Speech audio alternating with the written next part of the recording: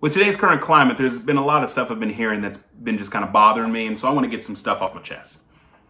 Um, I think this whole left and right bullshit needs to end. You know, I, I think language is important, and I think what we do and say is important. And I, I get the whole, you know, if, if you say someone's left leaning or right leaning, that it gives us some vague understanding of what they might believe. But what it doesn't do is explain to us who they are. Certainly not enough to judge them before we know them.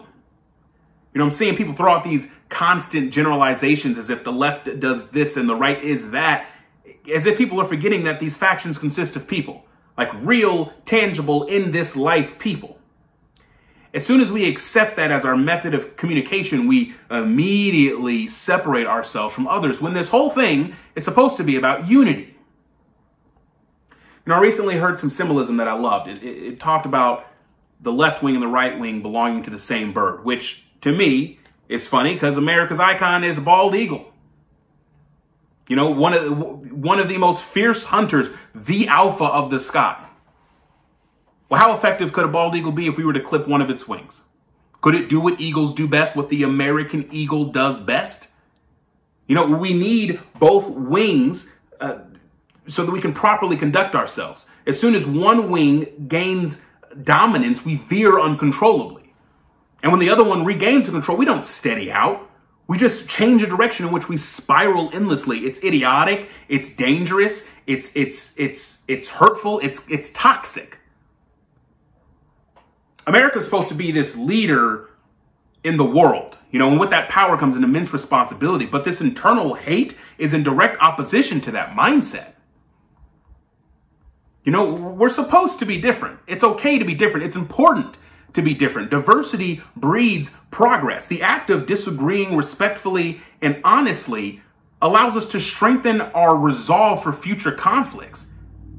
If you have if you have a problem with a certain mindset, speak up. I, I, like more power to you. Talk about the issues you have with people's with people's actions and allow someone who disagrees with you to take a measure of what it is you're against and decide for themselves if their actions are aligned with your frustrations. Perhaps they agree with you to some extent. Maybe there's a change that needs to happen on both sides. Common ground is fertile soil. That's where you plant change. That's where you see growth. This whole you're either with me or against me mindset is is dangerous and it is it's it's irresponsibly dismissive. If you don't know who who Daryl uh, Davis is, sorry, Daryl Davis, um, he's an incredible man. He's a fantastic musician, but more importantly, over the course of his life, he changed the mindsets directly of about 40 to 60 Klansmen and indirectly about 200.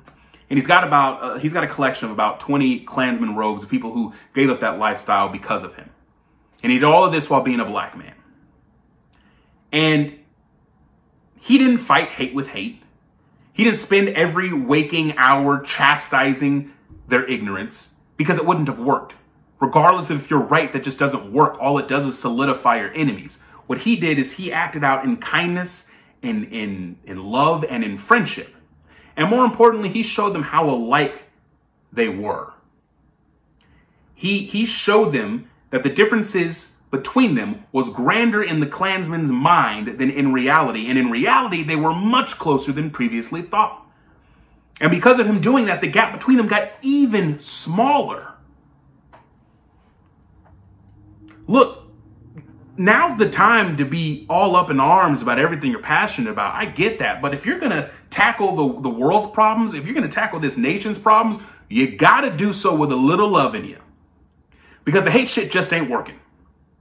The divisive stuff is just not working. This left and right is just not working. I'm not saying it's going to be easy. I'm not saying I have all the answers, but I certainly know that we got to start with a little bit of love, as cheesy as it sounds. That's my thoughts for today. You guys have a good day or night. Much love to you.